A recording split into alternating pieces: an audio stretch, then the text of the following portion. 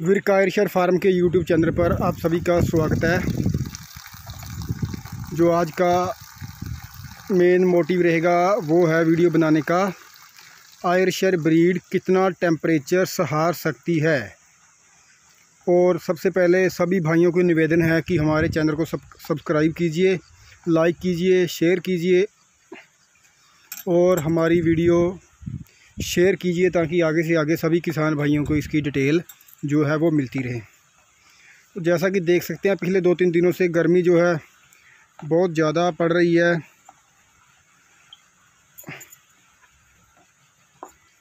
और जो आज का वेदर है, मैं आपको दिखाता हूँ हमारा चालीस डिग्री सेल्सियस खनौरी और टाइम देख सकते हैं आप इसके ऊपर, तीन बज के तरतालीस मिनट।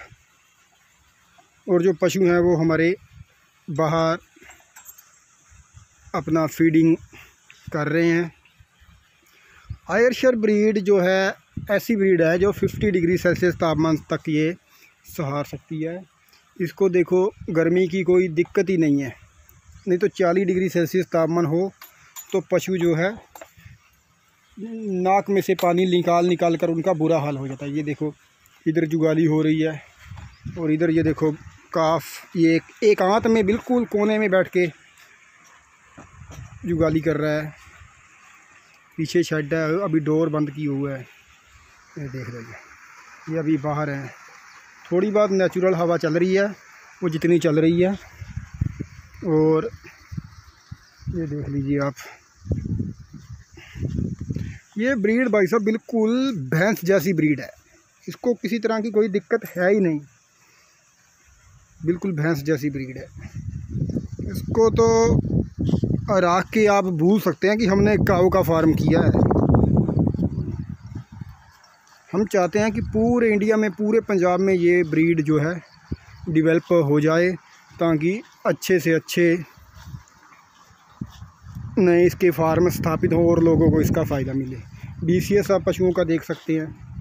ये देख लीजिए ग्रीन फोडर और ड्राई मैटर ये ड्राई फ़ूड खा रहे हैं। बीस सभी पशुओं पशुओं का बिल्कुल मेंटेन हाइट ब्रीड और किसी तरह की कोई दिक्कत इस इस ब्रीड में आती ही नहीं है। ये देख लीजिए। नॉर्मल वेदर 40 डिग्री सेल्सियस तापमान और पशु जो है, आराम से दाना चारा खाते हुए, जो कि गर्मियों में एक सबसे बड़ा चैलेंज होता है कि पशुओं को फ़ीड इनटेक करवाना। क्योंकि पशु खाते ही नहीं हैं, हाफते रहते हैं, जुगाली जुगाली नहीं होती, ऐसे लार फेंकते रहते हैं। इस ब्रीड में ये दिक्कत नहीं है किसी भी तरह की, और बीमारी बिल्कुल भी नहीं है। बाकी आपके सभी के सामने है। लास्ट में फिर एक बार 40 डिग्री सेल्सियस तापमान और इनटेक करते हुए पशु। Ayrshire breed pure breed from Ayrshire farm Shergarh ये देख लीजिए। कोई बादल भी नहीं है, धूप है बिल्कुल, ये देखो।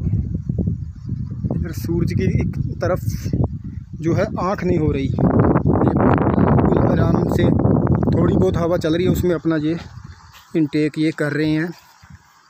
और आपको एक और बात दिखानी थी शेड में आप देख सकते हैं, उधर कोई फ़ैन फोगर वगैरह लगा ही नहीं है।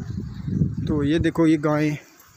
ये इधर हमारा पूल है, ये वेटिंग है, इनका मूड हो रहा है कि नहा के आएँ। ये देखो, ये बड़ी आयर है इसका मूड बन गया है कि ये नहा के आएगी। देखो, इसकी अडर क्वालिटी ये सीधा पूल में जाएगी। ये ये देख लो। पूल जो है, बहुत ही ज़रूरी है।